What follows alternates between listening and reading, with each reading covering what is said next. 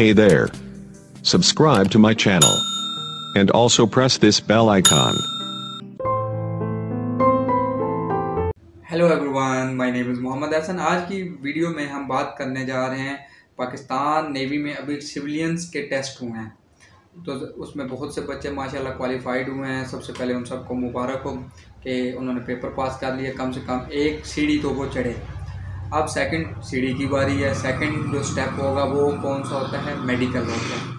इसी में आपके अब आपने जिस दिन आपको मैसेज आएगा, उसमें कहा जाएगा कि आप अपने ओरिजिनल डॉक्यूमेंट्स लेके और मेडिकल के लिए आप सिलेक्शन सेंटर पे पहुँच जाए। जो जो आपके कंसर्निंग सिलेक्शन सेंटर थे, आपने वहाँ पे सिलेक्शन सेंटर में रिपोर्ट करनी है। जैसे ही आप रिपोर्ट करेंगे, वहाँ पे आपका एक इनिशियल मेडिक आपके डॉक्यूमेंटेशन की वेरिफिकेशन होगी। उसमें आपकी डेटे चेक की जाएँगी। मैट्रिक की सनत है। डोमिसल देखा जाएगा, आपका आईडी कार्ड फादर का आईडी कार्ड जिसकी जो कोई होंगे प्रॉब्लम्स उनको कहा जाएगा, भाई, ये इसमें प्रॉब्लम है, इतना टाइम पीरियड है, सात दिन के अंदर अंदर इसको ठीक करवाएँ। अब किसी के शनाख्ती कार्ड में मसला आता है, किसी के डोमिसल में आता है तो सात दिन इनाफ होते हैं सिंपल वहाँ पर प्रोसीड करें, उसका टोकन भी अगर आप ला के इनको दे देंगे तो वो भी चांसेज होते हैं सिलेक्शन के। ठीक है, आपका वो प्रोसेस कर देते हैं। तो कई बच्चों को जब निकाला जाता है तो वो वापस आते ही नहीं है। क्यों भाई? क्योंकि मुझे उन्होंने रिजेक्ट कर दी एक्चुअल ऐसा नहीं होता। वो आपको सात दिन का टाइम पीरियड देते हैं। कि सात दिन के अंदर आके हमें ये दोबारा स्लिप दो तो हम आपको नेक्स्ट फ़ेज़ में डाल देंगे। अच्छा जब आपके डॉक्यूमेंट्स ये चीज़ आपने इंश्योर करनी है तो इस वजह से ना मतलब ऐसा ना हो, एक छोटी सी गलती से आप रिजेक्ट हो जाएँ, उसको ज़रूर रिजेक्ट करते हैं तो दोबारा उसको ठीक करवा लें। तो उसी डेट के टाइम पीरियड के अंदर। जब वो हो जाएगी डॉक्यूमेंट्स आपके वेरीफाई हो जाएँगे, फिर आपको वो भेजेंगे अंदर मेडिकल के लिए। अब मेडिकल किस तरह का होता है? तो बेसिकली आपको वो बाहर ही कहेंगे कि आप अपनी शलवार डाली रखें, लेकिन शलवार घुटनों से ऊपर तक कर लें। कहाँ तक? घुटनों से ऊपर तक कर लें। आपने बनियान डाली हुई है, वो उतार दें, कमीज़ उतार दें। तो अगर कोई जूते शूते डाले हुए हैं, वो सारा कुछ आप बाहर रख के जाएँगे। कमरे में अंदर आप चले जाएँगे। जैसे ही अंदर जाएँगे, वहाँ पे तकरीबन आलमोस्ट वो दस दस बंदों की स्लॉट कई जगहों पे पंद्रह, कई जगहों पे बीस बंदों की स्लॉट वो अंदर बुलाते हैं। ये कमरों के साइज़ के हिसाब से होते हैं। आप जब चले जाएँगे, सबसे पहला जो मरला आपका आएगा, वहाँ पे आपकी हाइट मैयर की जाएगी। जैसे ही आप हाइट मैयर के प्रोसेस से गुजरेंगे, उसके बाद आपका कलर ब्लाइंड का टेस्ट होगा। कौन सा टेस्ट होगा? कलर ब्लाइंड का टेस्ट होगा। उसमें आपको एक पिक्चर्स दिखाई जाएँगी जिसमें मुख्तलिफ़ कलर्स होंगे। और आपको चेक किया जाता है कि आपकी आई साइट ठीक है या नहीं है। आपको मतलब कलर ब्लाइंड तो नहीं है आप। तो अब उसके बाद जो तीसरा फ़ेज़ आता है, फिर आपकी आई साइड चेक की जाती हैं। तो वो आपकी एक आँख पे हाथ रख के सामने शीशा लगा होगा, उसमें जैसे ये नॉर्मल आँख चेक करवाने जाते हैं उन्होंने वो नंबर ए बी सी अलिफ बी पे लिखी होती है।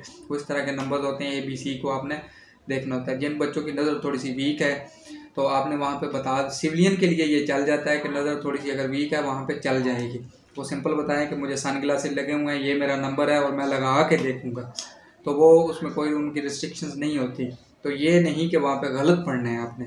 उससे बेहतर है कि उनको बता दें, लेकिन थोड़ी बहुत नज़र चलती है, ज़्यादा नहीं चल सकती। तो आपका जब आई साइड का टेस्ट हो जाएगा सेकंड फिर वो आपको सबको बिठा देंगे। बिठाने के बाद उन्होंने आपको अगला जो प्रोसेस होगा, वो आपके एक इनिशियल मेडिकल होता है। इनिशियल मेडिकल में क्या होगा कि आप ऐसे सीधे हाथ खड़े करके खड़े हो जाएँगे। आगे करके हाथ ऐसे, आगे करके ना तो एक डॉक्टर आएगा, वो आपके हाथ चेक करेगा, उंगलियाँ चेक करेगा, हाथ चेक करेगा, उसके बाद बाजू कोनिए आपके पाँव की उंगलियाँ आपके घुटने उसके बाद बॉडी को चेक करेगा, कहीं से कोई कट वगैरह तो नहीं लगा हुआ एक होता है नॉर्मल खेलते हुए बच्चा गिर गया, कट लग गया, किसी को कुछ हो गया, एक होता है ऑपरेशन का कट। तो ऑपरेशन के कट की सूरत में वो मैक्सिमम वो रिजेक्टेड कर देते हैं। तो बेसिकली उनका चेक करने का मकसद ये है, कहीं इसकी उंगली टेढ़ी तो नहीं है मतलब बाजू टूटा हुआ तो नहीं है, या कोई भी मतलब इसकी घुटने टेढ़े हों कोनियाँ टेढ़ी हों, ऐसी चीज़ें वो देखना चाहते हैं। तो उन बच्चे जब वो आप उस प्रोसेस से निकल जाते हैं तो नेक्स्ट आपका एक छोटा सा निचल एक और मेडिकल होता है। उसमें बेसिकली जो मेल कैंडिडेट्स हैं, उनको चेक किया जाता है कि आया ये मतलब मेल फीलिंग्स के हैं कि नहीं है? तो उसमें एक हल्का सा वो मतलब सिंपल सा टेस्ट होता है। उससे कोई मतलब परेशानी वाली बात नहीं है, ना ही आपने परेशान होना है।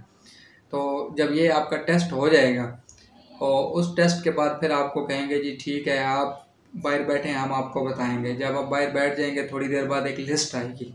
क्या आएगी? एक लिस्ट उस लिस्ट के ऊपर हाँ उन जो लोग मतलब सिलेक्टेड होते हैं बेसिकली उनकी एक लिस्ट बनी है। जो भी मतलब मेडिकल करा के वो, जिनको रिजेक्ट करना होता है ऑन स्पॉट रिजेक्ट करके वापस कर देते हैं कि आप जाएँ। जो लोग वहाँ से बाहर उनको भेजा जाता है, उसके बाद लिस्ट आती है, तकरीबन दस दस, बीस बीस बंदों की वो लिस्ट बनी होती है। उस लिस्ट में आपका नाम अगर हुआ तो उस लिस्ट में अगर आपका नाम है तो उस लिस्ट के साथ आपको तीन पर्चियाँ भी मिलेंगी। वो लिस्ट के साथ आपको तीन पर्चियाँ दी जाएँगी। उस तीन पर्चियों पे आप, वो आपको कहेंगे कि आपने कोई भी करीबी जो मिलिट्री हॉस्पिटल है सी एम एच हो सकता है पी एफ़ का हॉस्पिटल है नेवी के हॉस्पिटल है, वहाँ पे जाके आपने अपना मेडिकल करवाना है। अब जब आप मेडिकल के लिए जाएँगे ग्रुप में जाएँ या इंडिविजुअल जाएँ, उनकी कोई ममानत नहीं है, लेकिन वो स्लिपें या वो लेटर की जो लिस्ट होती है, वो आपके पास होना लाजमी है। आपने सी एम चले जाना है पी एफ़ के अस्पताल या नेवी के अस्पताल में चले जाना है, लेकिन एक बात यहाँ पे जो इम्पोर्टेंट है, वो याद रखें कि पैसे साथ लेके जाइएगा। तकरीबन आपका राउंड अबाउट तीन हज़ार से पैंतीस सौ चार हज़ार रुपये का एक्सपेंस हो जाएगा वहाँ पे। वो आपको फ्री ऑफ़ कास्ट नहीं करेंगे। यूनिफॉर्म के फ्री ऑफ़ कास्ट करते हैं सिविलियंस के पेड करते हैं वो लोग। मतलब पैंतीस सौ से चार हज़ार रुपये का आपका एक्सपेंस हो जाएगा। वहाँ पे जाएँगे जब, वो आपसे स्लिपें लेंगे, आपके hepatitis C H B AIDS का जो टेस्ट होता है वो करेंगे, उसके बाद ब्लड के सैंपल लेंगे तो ये, उसके अंदर वो सारे टेस्ट आपने परफॉर्म कर लेंगे। इसके अलावा पूरी बॉडी का आपका एक्सरे होगा। उस बॉडी के एक्सरे में आपको मतलब ये पता चल जाएगा कि अंदर कोई हड्डी शड्डी फ्रैक्चर या मोरा शोरा इस तरह तो नहीं होगा क्योंकि वो आपके फ्रंट साइड से भी पूरी बॉडी का लेंगे और बैक साइड से भी पूरी बॉडी का एक्सरे करवाया जाता है। तो बेसिकली जो उसमें चेक किया जाता है कि कहीं इसकी कोई हड्डी तो ब्रेक नहीं है। तो बाकी उसके बाद जब आप ये मेडिकल पास कर जाएँगे तो आपको एक मैसेज आएगा कि नेक्स्ट फ़ेज़ आपका पर्सनैलिटी टेस्ट का है, उसमें आप सिलेक्टेड हो गए हैं तो आप पर्सनैलिटी टेस्ट के लिए फ़लाँ टाइम फ़लाँ डेट को तशरीफ़ लाएँ। तो अभी तक यही इस मेडिकल में होता है। बहुत सिंपल होता है। परेशान ना हो। सिंपल जाएँ टेस्ट दें। कुछ भी नहीं होगा। ठीक हो गया। तो अल्लाह करे आप सब सिलेक्टेड हो जाएँ। जो भी कैंडिडेट जाएँ, मेरी दुआ है। उसके अलावा अगर चैनल को सब्सक्राइब नहीं किया चैनल को सब्सक्राइब कर लें। और इसके बाद अभी इंशाल्लाह जैसे ही आपका पर्सनैलिटी टेस्ट होगा, मुझे आप मैसेज करें, कीजिएगा इंशाल्लाह। मेडिकल पास होने के बाद उस पर मैं पर्सनैलिटी टेस्ट पे भी एक डिटेल वीडियो बना दूँगा इंशाल्लाह।